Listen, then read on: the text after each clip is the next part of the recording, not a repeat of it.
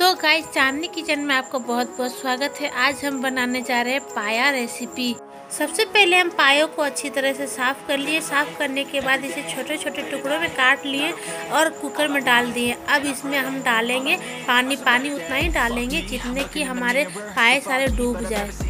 हम यहाँ पे पानी बड़े गिलास से दो गिलास पानी डाले अब हम कुकर को अच्छी तरह से पैक कर देते हैं ढक्कन की सहायता से। अब हम कुकर का ढक्कन बंद कर देते हैं। पाया को हम चूल्हे में बना रहे हैं। चूल्हे में बनाने से पाया का टेस्ट बहुत अच्छा आता है। अब चलिए हम चूल्हे में पाया को चढ़ाते हैं। हम तीन से चार सीटी इसमें लगाएँगे। अब हमारे कुकर में तीन से चार सीटी लग चुका है। अब इसे चूल्हे से नीचे हम उतार देते हैं। अब इसका ढक्कन निकाल के देखते हैं कि हमारा पाया अच्छे से बॉयल हुआ है या नहीं हुआ है। अब हम कुकर का ढक्कन निकाल रहे हैं। अब चलिए देखते हैं हमारा पाया अच्छे से बॉईल हुआ है या नहीं। देखिए कितना अच्छे से बॉईल हो गया। अब चलिए पायों में मसाले हम क्या क्या डालेंगे आपको दिखाते हैं। अब चलिए मसालों में हम क्या ले रहे हैं? काली मिर्च जीरा अदरक, लहसुन के कलियाँ दस से बारह, चार हरी मिर्च और यहाँ पे हम प्याज ले लिए एक बड़ा कटा हुआ, धनिया पाउडर और दो तेज पत्ता। अब चलिए हम अपने गैस की तरफ़ चलते हैं। गैस को हम ऑन करते हैं कढ़ाई को अब गर्म होने देते हैं। कढ़ाई हमारी अब गर्म हो चुकी है इसमें अब हम डालेंगे दो चम्मच सरसों तेल ज़्यादा हमें इसमें तेल यूज़ नहीं कर रहे क्योंकि पाया में हमारा ऑलरेडी तेल बहुत छूटता है। अब तेल को हम अच्छी तरह से गर्म होने देते हैं।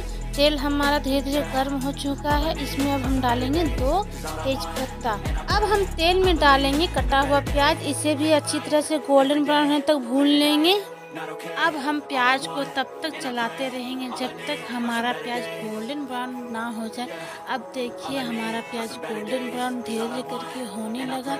इसमें अब हम डालेंगे मसालों को जो हम अपना मसाला पेस्ट करके रखे थे और ऐड करेंगे धनिया पाउडर अब हम सारे मसालों को प्याज में ऐड कर देंगे। मसाले और प्याज को अच्छी तरह से चला लेंगे। अब हम मसालों में ऐड करेंगे नमक स्वाद अनुसार, हल्दी पाउडर, आधी चम्मच। अब हम सारे मसालों को अच्छी तरह से भून लेंगे। मसालों को तब तक भूनते रहना है जब तक हमारे मसालों में से तेल ना छोड़ दे। मसाले हमारे अब अच्छी तरह से भून चुके हैं। इसमें से तेल भी छोड़ने लगे। अब हम मसालों में ऐड करेंगे अपने मटन पाया को।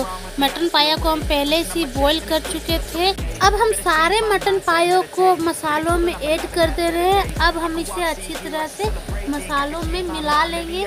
सारे मटन पायों को हम अच्छी तरह से मसालों में मिला दिए हैं। अब हम इसे ढक्कन की सहायता से एक बार ढक देंगे और एक से दो मिनट के लिए इसे ढक के पका लेंगे। एक से दो मिनट हो चुके हैं। अब इसका ढक्कन निकाल के देखते हैं। हमारे मटन पाए बहुत अच्छे से पक चुकी है। अब हम इसमें ऐड करेंगे कसूरी मेथी। अब हम पायो मटन को अच्छी तरह से मिला देंगे और गैस का फ्लेम बंद कर देते हैं।